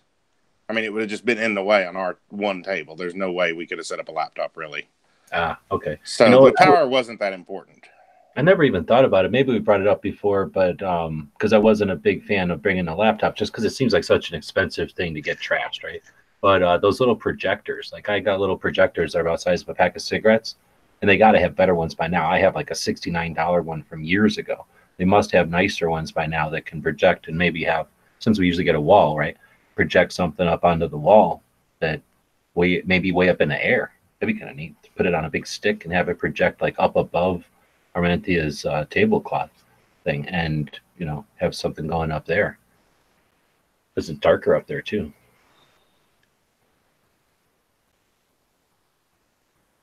Yeah, you know, we've talked about uh, the idea of, you know, the projector idea, the idea of maybe a monitor on the table or, you know, something like that. And I will say this: there was, there's been a, there was a couple of booths today, or tables today, whatever you want to call them, that I walked by and I looked at that had monitors up and were playing some type of a video or something, and they seem to be getting a draw on that. They seem to be getting people stopping and looking. So it kind of it kind of makes me wonder um, you know and i've got extra phones and i've got power banks and you can you know nowadays with technology you don't even have to have a laptop or anything. You could you could tie in and and uh know, with like a, a little smart tv wouldn't have to have anything big. Um you know you could tie in with a with an old phone or something and just run a playlist or something of you know gun channels videos or whatever um, You know- and that might draw that might draw some attention too, and and sort of give people a visual of what's going on.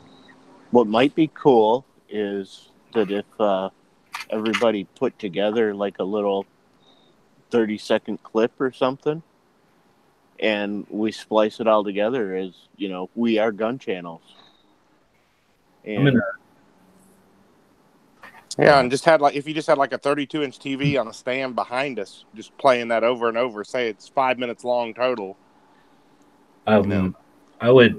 I'm going to just throw this out there because just uh, I don't know. Since we're kind of talking about this aspect of it, number one, I could care less about gun channels getting large. We've talked about that in the past, and there's all kinds of issues to that.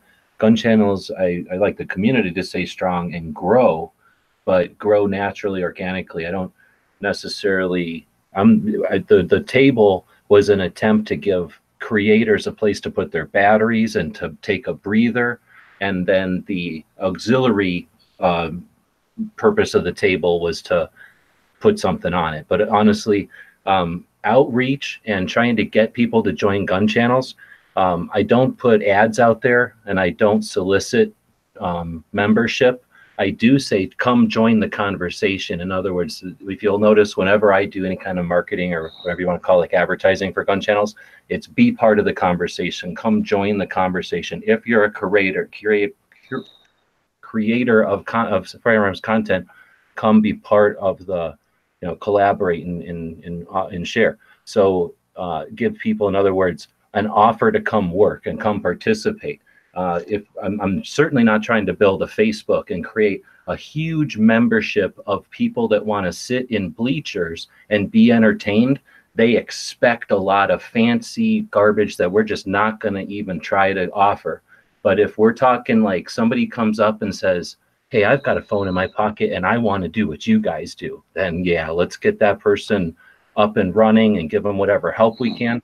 So, what I'm thinking is, what if y'all put together 30 second videos of your projects and your channels, and then at the end say we're on gun channels? Because really, gun channels is like a Facebook in only in the respect that you don't join Facebook and say, I'm Facebook number 257. You say, I'm so and so on Facebook.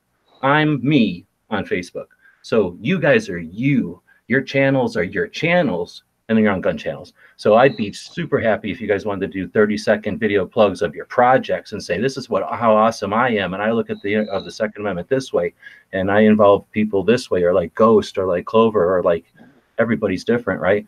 That's what gun channels is. So I'm not at all interested in trying to tell people what gun channels is. I'm certainly interested in helping y'all do your thing. And if people want to come along who are interested in what you're doing, meet up at your table. If you're going to do an interview or something, let's use the table as a shared resource.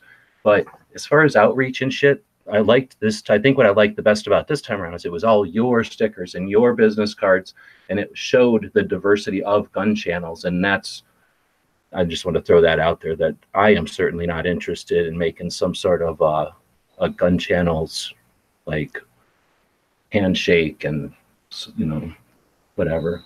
So basically, what you're thinking is like everybody take their channel trailer kind of deal and splice it together to one video. Or maybe we do something that says, "Why are we here to help the gun community? Are you interested in finding the Second Amendment organization in your area? Are you aware of what the uh, things are that are attacking our liberty today at the state, regional, and federal level? Uh, are you a manufacturer and you struggle to get the word out? Would you like to get with people who are fluent in social media and cameras and software?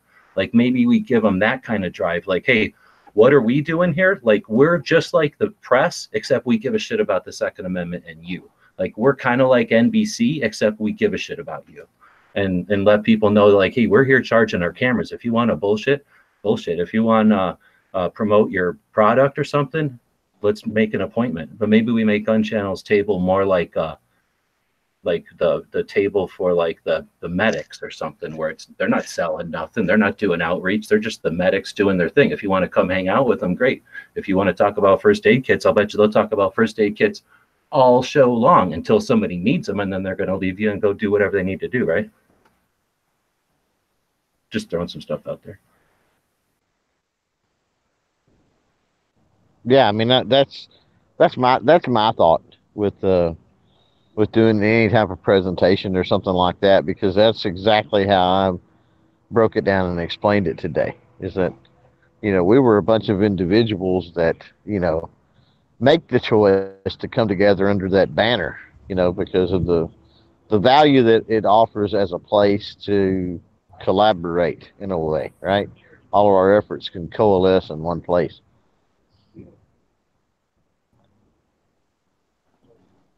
But you know, I think that, and we and we talked about that off air, and I, you know, it's, certainly it's it's late, no one to get into it tonight, but you know that that I will mention it enough to say that you know that type of an approach also plays into the to the power and the strength that we have as a community, uh, uh as a community of individuals. You know, we're not, uh, you know, we're not robots under, uh, you know, a demanding overlord you know, we we don't you know we don't go and come together and do things as gun channels because we're forced or we're programmed to do so, right?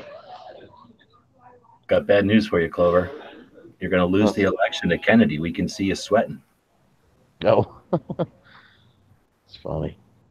So, uh, all right, I'm going to do a palate cleanser here. I don't know how late it is there. It's midnight there. So, y'all probably want to get going we don't need to draw it out, but I can certainly keep going. It's only 10 o'clock for me. So it's all up to you. But I'm going to ask Obnoxious the best thing you saw at the show today. The one I threw on uh, the best thing I saw at the show today was all the folks that I came down here and to meet. That was That's that was the best. That was the best thing to me. Was was right meet meeting all the people that I've that I've been talking to online for the last year and a half or so. Snob's wife. Is she still in here with Snob? She can be. Give me two seconds. I'm walking to her.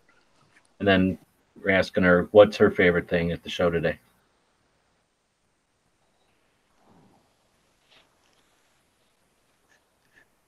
Two seconds. How long are two seconds in Oklahoma? What's going on here? I know I'm gonna out use my fancy daylight savings. he's on. He's on Tulsa time. Don't say that because he'll come back singing.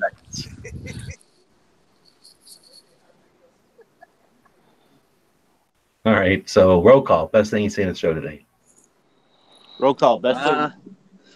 I saw uh, a bunch of SKSs that I couldn't buy. That was the best thing I saw today. A bunch of SKSs that Too when expensive. old people come up to my gun counter, they say, "You know, I used to get those things out of crates for seventy-five dollars a piece, and then I look at them today, and I'm like, uh. But, too expensive tonight or this this weekend? What was that again? You're saying didn't get them because they were too expensive? Yeah, man, they were they were out of this world price, and but they were still cool to look at.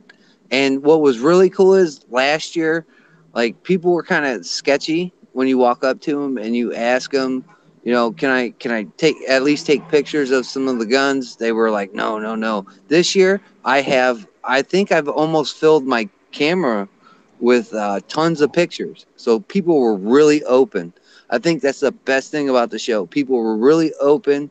They and I told them about gunchannels.com, uh, what I was doing, why I had this press pass, and they were really open to let me take pictures of the firearms that they had there. So that was really cool, and I'm really appreciative to uh, uh, the the folks that set up their booths and and let me do that. I had a couple. I had a, I had a couple humbugs in there once in a while, but it wasn't anything like last year. So that was really cool. Other Awesome. than the SKSs being seven hundred dollars. Ugh, that's a lot of money. I suspect though at that kind of price, they're got to be special or unique or something, unless the guy just really liked them. But uh, I want to say thanks to y'all because I think I think we're not overstepping our bounds to say that you all and your efforts helped do what we're trying to accomplish here. Bring the uh, the the gun show up to the internet. It's got to have some response. People have to see that, and I suspect that's one of the reasons that you know we're changing the culture of the show in a way by giving them some positive reach, right? And I mean, we never know how somebody's somebody is going to say, "Hey, isn't this the show that you went to? Isn't this Grandpa's show, or isn't this so and so Uncle somebody's show, or Aunt somebody goes to this show?" And it gets back to them, even if they're not online, right? So some of these people that might never even touch a computer might have heard, you know, in the months and years that we've been doing this now, that oh yeah, like there's some people walking around the show. Like that's one of the extra benefits of being at the show is that they they bring press in to give positive coverage. So let's not overlook our voices in this whole thing. That's a good one. So did we get Snob's wife finally? Yeah, I'm here. Okay. So what's the best thing you've seen at the show? Uh, well, the first thing is Armentia. Um, so I was really happy to see her, but meeting everybody on meeting everybody on the on the crew and stuff that came down that I didn't get to meet in November, um, and walking around the show. I mean, it's you know some of the things you've seen last year, you know, and stuff, and there'll be a lot of things that you didn't see. So, you know, talking to people we talked to last year and meeting new people. So, you know, Right a little Now, bit of everything.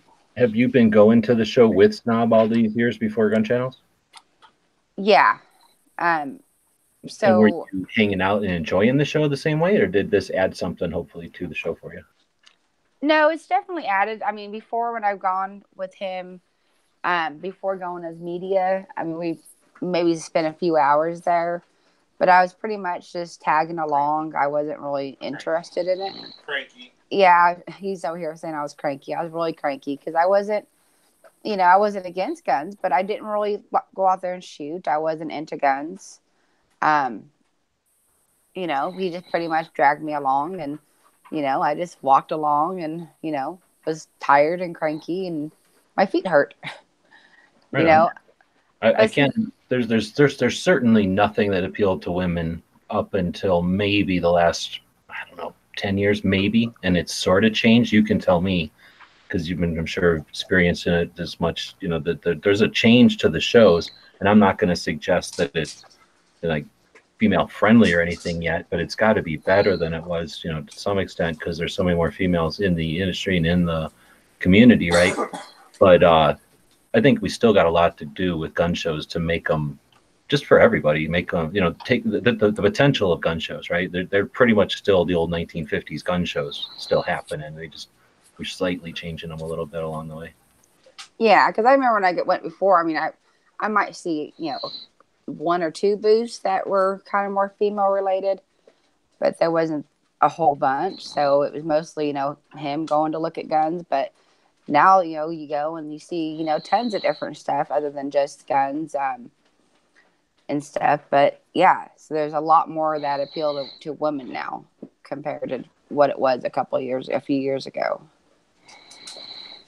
Cool. And I've said it before, but I want to say it again that I appreciate the females from gun channels that show up and bring female influence to gun channels, but also coverage to the show. Because if it was just us guys walking around with cameras, obviously we would be missing stuff, or if when we do try to cover stuff, we're just not, you know, we're not in, we don't have the insight. Uh, so I'm, I'm again, I want to give you credit because value your voices. There's not very many females doing this in the industry at all, even fewer at this show. So as much value as we're adding, you guys are at, you gals are adding even more to the females that are there, trying to again change the the culture of these shows, the community itself, to uh, to include as much, you know, stuff for everybody in here. So, right on. That's what it's all about, right? Definitely, and you know, I, I've had a blast the last few times I've gone with, you know, me actually talking to the people because I didn't talk to the people before. Um, and I've had awesome conversations, and the people I meet from you know the Gun Channel crew are awesome. Um, so I really enjoy them, and you know, especially you know being a part of the Gun Gals now, and, and having Armentia and Jesse, it's just made it so much better and so much more enjoyable. Let me sleep right? Daniel, what's the store number? Daniel, what's the store number? Are you accusing me of being asleep? Yeah. Okay. So, Dana, what was the best thing at the show today? Uh, the best thing at the show today uh, was talking with um, the, the kids. Right on. Uh, The came up to the table and looking at squirt guns and whatnot. Yep. It, it Okay. just and, and, it, and just the it just, I just love talking to kids. Right on. So, is Graham out there still? Yeah, Grim's still here. Grim, what's to- your favorite thing at the show today? What's your favorite thing you saw at the show today, Grim? I'm I'm unmuted. So. Oh, you're unmuted. Yeah. Yeah, we got you. Uh, the best thing was the uh, the couple I was talking to that make uh, use repurposed books and make those hidden books, but he actually leaves the outside pages loose. Like you turn it around, you move it around, and it looks like an actual book. And he had everything from books that were a year old to older books that could mix in, or he would do anything. You know, if you brought something, he could work on it. I walked up when Grim was talking. Price wise, they're a budget. I walked up when Grim was talking to them. They were really neat. Yeah. But that And couple, you and they had a good story. They had a good story also. He he was beginning to retire, and he was just fiddling with stuff, and he wanted to create one for himself, and now he's been doing it. He said going on five or six years. And it, I think it's, I know you're talking about. it. I think it's cool too that, like you say, they've got like actual books that can blend into someone's actual library instead of like, here's all these books on like naval history and then some book on sewing or whatever that like, you know, some store might have. You know, he actually, like you say, he can give you a dust jacket or you can give him a dust jacket or something, so you can give you the right size book, or you just give him a book or give him the right, Yeah. pick Yeah. One from inventory. I mean, or give him a used book. He he said they'd go to, you know, library sales, Goodwill, and I mean, they had Tom Clancy, Patterson. You know, they even had a couple on Hillary and Obama just as a kind of a fun joke, and you know, and they were hollowed out and everything from a small to medium, or just an open shape if you wanted to put jewelry or other things now. And I think Stacy's going to try to do a video with them tomorrow. Okay, good. Let's see. How about Ape? What was the best thing the show today? Uh, damn, that's kind of a hard one for me. It's just kind of all such a uh, kind of a new experience for me. Um, we're going at the show. Uh, I'm going to have to say the highlight of my day was uh, talking with uh, uh, Rob Leahy from uh, Simply Rugged. I mean, it's uh, I don't know. I haven't really done this, and it's you know he was real. Uh, real kind of cool with uh, talking to me about some of his products and that. Um, as far as like just stuff at the show, I mean, man, I was just kind of overwhelmed at all the different just AR components. I mean, if there's, I would think that if there ever was an argument to be uh, made that the AR is a common or in common use. I mean, just look at the amount of just uppers or barrels and other little parts that are in just like one section of that show. And then there's like four or five other sections like that all the way around. So yeah. Right on. Who do we have off camera? Is Nut still around, or you leave? Uh, I don't think he's around unless he's in in a truck with somebody. I think everybody that's not on camera you covered it. Just just Grim is left, or Okay. just Grim was the only was the only one. Okay, that's not on a thing. So did Wright uh, and Nut? Those guys left with Foos. Yeah, I think so. Probably should have talked about their guns earlier. I think uh, Cycle and Wright were they the only ones that bought guns? Do you guys know? Uh, I think so. No. Did Roll Call buy a gun? Uh, yeah, roll Ro- call, roll Roll call Call bought bought one. Yeah, You bought a gun, didn't you? and Foos Gun and retreats. right. Yeah, I bought uh my son my son's an uh I would call him an avid shooter. He shoots all the time. Every time I shoot, he shoots. And uh he wanted his own twenty two. He wanted his own twenty two, something to call his where he maintains it, does his thing. He's got good grades in school. So I I bought him one today. Uh, it was a Marlin 60. Uh, it's a good gun. Uh, the guy told me all about it. I looked down in there, made sure it was all clear, and uh, that's what I bought today. And I'm I'm grateful for it. I sent him a picture today, and uh, all I got was hearts, uh, like when you do little heart uh, emoji things. And he's gonna be ecstatic when I come back there, and we're gonna go shoot it, maybe make a video. And uh, he's got to maintain it, and it's gonna go in the safe. And every time he comes over for the weekend, we're gonna go shoot that thing. And uh, this was my first purchase at the Wanenmacher Gun Show, which made it even better because it wasn't a purchase that I wanted to do; it was a purchase for somebody else. You know, and now he can take this when he grows up. He can pass this off to his son and say it came from the Tulsa Wanenmacher Gun Show. When your grandfather uh, went down there and actually was able to purchase a firearm out of state. So Hopefully, it'll be like back when there was all kinds of laws and you couldn't just buy guns out of state like you can now. right, right. I mean, I, this was like last year. Last year, I almost tried to buy like four pistols, a couple rifles, and I could have took the long guns home, but I couldn't take the pistols home.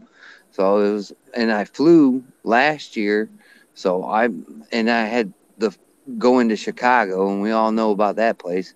So I didn't want the hassle. But now that I've dri- I've driven this drive, and I can do it, and it's fine, even though Cindy falls asleep halfway through it. it's it's all good.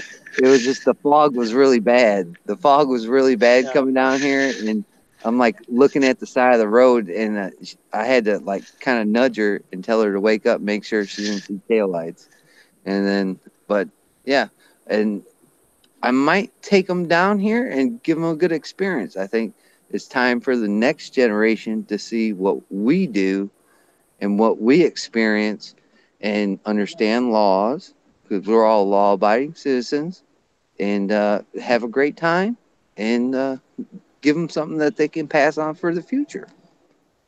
Oh, that's awesome. Yeah, uh, Guy brought his kid. Nightcrawler brought uh, his kid. Uh, trying to think, is that the only kid we've had at the show? I want to say somebody else brought a kid one time. I've don't know, but to it several I might be thinking of Enrique in Phoenix. So, um, but it sounds like we've got uh, Miss Roll Call sitting right there who doesn't get much airtime. What was your favorite thing at the show? Cindy sitting right there, or you just talking? hold about on, he's got to run over to her. It's going to take two Tulsa seconds. So I guess uh, we to go, Dano. Clover, what was the best thing of the show?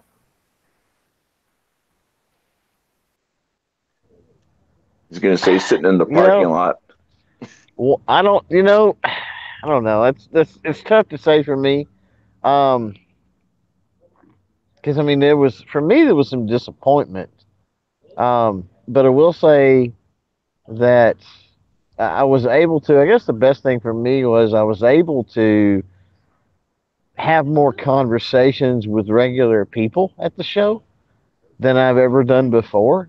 Um, it's it's difficult to get into the mode, especially after, like I said, after you have the experience of shot show and NRA and all this other industry stuff. Um, it's easy to get locked into that mode and just not really be paying attention to the to the rank and file, to the regular people, the mom and pop and stuff like that out there, that element. Um, but that being said, um, one of the things that allowed me to do that because I really went into this. Um, I knew that I knew that we were going to have a lot of people, and I knew that you know we were probably going to utilize every pass we had, and you know I knew that there was quite a few that had never been before. So, you know, I was I was worried were they going to be overwhelmed? I was worried were they going to be contributing in a way, especially with Ghost being down? Were they going to contribute in a way because I was worried that, you know, and, and as I do every time this comes up, I worry that, okay, are we, are we getting out enough content out there that they're, they're going to be appeased, that they're going to be happy with that? Because we talk, always talk so much about going to the le- next level. What more can we do? What more can we do? Right.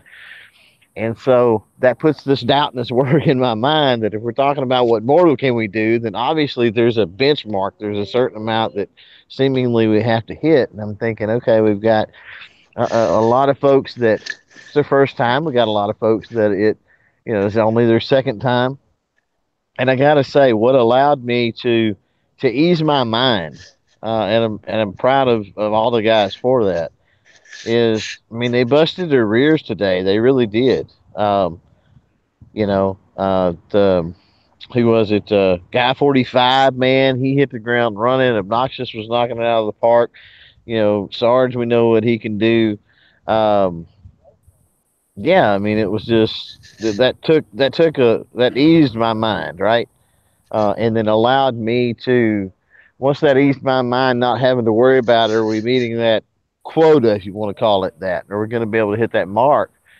Then I, I didn't have to. It took the pressure off of me to just kind of enjoy the show and talk to people there and kind of take in things. And I've never really been able to do that, or I've never, I won't say I've never been able to do that. I've never done that. And so, uh, you know, I'm thankful for, for all the, uh, all the media help that we had there, all the teammates that we had and the job that they did. Very cool. And I was going to say, I don't know if, um, developing and and and innovating is always growth, right? Because a certain amount it can be uh, pivot versus growth, right? Like a different direction versus just more of the same. So I think I know what you're saying. Like if we've got a if we want to do more, then that assumes that we're going to do as much as we did last time, and then more, right? But I don't know if we always have to do more because we we have no idea how many people are going to be involved and how conducive I guess the show would be to it, or and then who knows what kind of political stuff. Like next year, we've got a lot of experience now. Maybe we do something different next year. Maybe we set up a table that's hundred percent advocacy. I think we toyed around with the idea of each bringing like uh, local or federal level um, like pamphlets or sign up forms and then just be advocates for all the groups and like hey did you know that there's this many groups fighting for our rights did you know that there's this many things i mean there's less ways we could play it i guess um roll call Cindy Beth Yeah, man, she's right here. Uh, So what- Let me hand the phone over and. Senior, are they? No, They look you're, like you're- Pac-Man. she. she now i'm just wondering what's the what's your favorite thing at the show this today Um, finding my drinking cup with the paracord handles. so What, I like get two? a braided paracord type of thing to make it a mug Yeah. Well, it was just the handle, and then it comes with a mug with two metal straws. I only paid what fifty five for the. No, gee whiz, what she's not telling you is she was getting deal after deal. Every table she went up to, she got a deal. Yeah, I, I, I kind of did. playing the girl They would card tell him full price, and I wouldn't have to pay full price. yeah playing the girl card No, I was not playing the girl card. We know how it is. It's not like my shoulders are back and the girls were out. The girls were completely covered. It's not like they were showing. I just stumped them all. I just so stumped them all. They, they have nothing else to say. Dead. dead. Killed it. That's, that's a game changer. So wh- who did we? Giz- Gary, did you go? did we Gizzard? Uh, Gizzard? Uh, yeah, I think I was there. No, I'm saying, did you go with uh, what was your favorite thing of the show? I haven't yet, no. And uh, at first, I was going to go the route that Clover just did, but since he's already covered that, and I reiterate everything he said, but I think my favorite part was that uh, Snob, a gun snob, had given me a uh, a microphone rig for my phone, so I could point the uh, directional mic in front of the uh, camera and actually pick up the people I was recording better and it worked like a charm and i was able to get way better audio quality on my videos and i felt a little bit more professional having a full rig like that and it just made everything so much easier to do. And uh, i'm quite pleased with the way everything came out. So uh, that and uh, being my third show i feel like i have my legs under me now pretty well as far as knowing what to do and everything. So, uh, to me, uh, everything went pretty well today, all the way around. Right on. Did we miss anybody? Sarge? Did we do Sarge? And then no, I don't think we did. And I was supposed to Nope. ask Sarge Here, I'll- about a shirt or something. Hold on, I'll give you. I'll give him over to you. What we got? What are we doing? Uh, Matt, if you want to link, I see never enough ammo's out there. We got a slot. If you want to link, I'll send it to you on Gun Channels. So Sarge, what was your favorite thing at the show today? We saw downstairs. I saw a guy, and we were just talking about it. He had four tables of AMT auto mags with boxes. He must have almost all of them in existence. All the With- different calibers, or you're talking like 44 Magnum auto mags? He had all Or- different calibers. I guess they're 44 auto mags are the real ones, right? That's the actual. What? and the different uh, manufacturers Yeah. what they became after automation. Yeah, and like like Fine Ape was saying, he pointed it pointed out some of the finer points that he also had them from different manufacturers as they changed hands during the years. He had they have got all the automags. Okay, I bet so they had all- 50. All the It's AM amazing. tooling as it went from like the two or three places in California, then I think Texas for like three or four different companies. Yes, he had four tables of them and Wow. some display cases, but all the ones on the tables included the cardboard boxes. I mean, that it was was that- just shocking. I thought Were that was you my able favorite to thing. Were you able to get any video with that or of that or pictures? I think I did take some video of it and I talked to the guy, but I think I might go back and kind of really pick his brain because I don't know where you find all that. I don't know how you acquire that much. And it's not as if it's a, they may have bought a collection, but this was all stuff for sale. It was at a used gun store that had, they had one of the, you know, when they set up all the tables and then they have uh-huh. their area in behind them where they walk in amongst all of them. So they were like five or six tables long. They basically had their own row. Like an And they had one row that was all their long guns, and they had a lot of long guns. And then they had a second row, you know, where they get both sides of it. That was all pistols, and one whole side of that row was AMTs, and it was. I want to go back and pick their brain and see how they acquired all those. Yeah, I would. And I trying would- to sell them. Yeah. I would suggest highly, like, if you got the time and inclination, or if they've got the time and you've got the inclination, I suspect that could be the kind of video to blow up because people, in my experience, were really into AMT videos of any kind, and uh, Yeah. it really put down some interesting reference. If that guy's never done anything like that before, um, you know, that's the kind of stuff that people will. What do they call it? Uh, long tail or evergreen? Like that's the kind of stuff that'll cook for you forever. They just, I mean, you can find so like many of them. if you can find like a book on Amazon that you know talks about that, then link that in the description too, because you're gonna find people that are researching it, find it, you know, grab that link and maybe buy a book. Yeah, I mean that's that's a fantastic idea, and that's like that's the thing that really piqued my interest that I've seen so far. And I may see if uh, if they do shipping, I may be able to acquire one for myself if they'll Which ship one? it. Which one would you be eyeballing if you were to partake in one? I'm going to do a little research tonight. Of course, there's not many hours before the show opens up in the morning, but I'm I'm interested in to see if the 22 Magnum actually worked, and, and he's got several different ones there, different barrel lengths. Do you I want the bad curious news or the bad news first? Do what? I'm sorry. Do you want the bad news or the bad news? I want the bad news. I have, in my experience, because I've always been a fan myself, I've seen more than one brand, you know, more than one incarnation of the 22 mags, and I've never seen one work. Oh well, but they're working. Uh, me, they're cool. All the other ones work just fine. It's just 22 Magnum was too much of a pain. I think. I think one of the reasons the they don't have a lot. None of them have ever really worked well, have they? Any 22. No, no, the other ones, the other ones, I think get a bad rap. In my opinion, I used to. My job was to shoot the guns at the shop. When Bob would get a new gun in, he knew that I could make video, or I would make video. So I would basically go shoot the guns for free, right? So he would let Mm. me shoot whatever guns I wanted, and I would always shoot an auto, any kind of AMT or any other derivatives. All the other ones seemed to work fine, and we would get them in all different conditions of like people that kept them pristine, the people that shot them all the time and just put them in a shoebox, and I would shoot them however and then clean them, right? Because what's the point of cleaning them first? So Yeah. anyway, I've shot all of most, a lot of them. Pretty good, except for the 22 Magnums. And like I say, I think it's just a too long of a cartridge. It was something about the, you know the metal didn't give enough flex or something, not enough dwell or too much dwell. Something about it.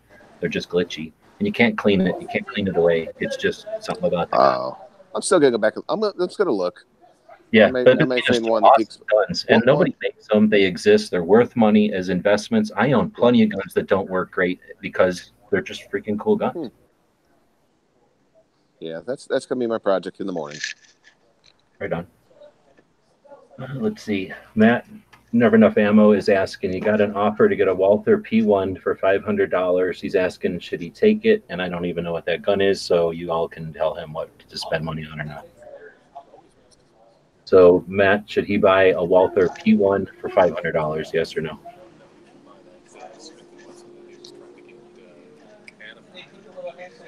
Wow, is this even gun channel? Someone interested in spending this guy's money? Am I muted? Is this a- I'm no Walther expert. I can't tell you. Yeah, I don't know anything about that model. Oh, okay. Well, you just bumped us, man. I don't think you I just seen Yankee post something on Instagram. He might be around. Might be awake. Um, did I cover everybody asking about what your favorite thing at the show was? No, you give her to me again. Right. What was your favorite thing at the show? Or no, wait. we were Um, supposed to ask. Hold on. We were supposed to ask uh, Sarge about some kind of shirt or something, right? Um, I don't, don't make me scroll all the way back to wherever somebody said something about that shirt. Somebody said something about a shirt for Sarge. What was that? I have no clue. All right. Well, then I guess we're gonna have to pass it. So, what was your favorite thing at the show, Snob? Um, the people, and not just like I mean, yes, meeting Sarge and Noxus and Fine Ape and all the other ones I'd never met before. Roll call, that was great. Dano, I don't want to leave anybody out, but that was great. The ones I'd never met before, and then getting to see the ones I have met before and stuff again and stuff. That was great. But just like the people at the show, and especially my highlight of the day was that little old lady just wanting me to come record her. I mean, that was literally my highlight. I just enjoyed that so much that she was so excited about it and just super excited. So that was really my highlight was the people.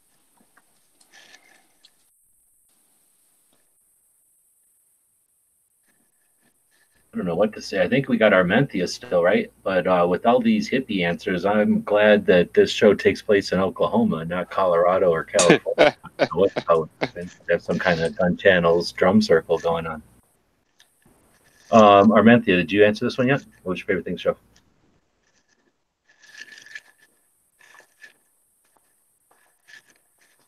Sleeping? My mic's still on.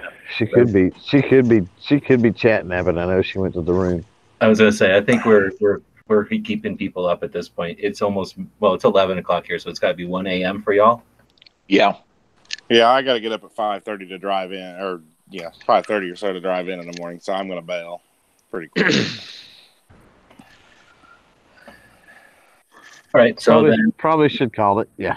Yeah, with that, I want to say again, thanks for everybody for jumping in. We now know what it's like to have like a third person, right? I wish I could have been there, but at least now we know what it's like to have somebody running a show from outside. which obviously is a little easier with all having handicap of not having the uh, live ability.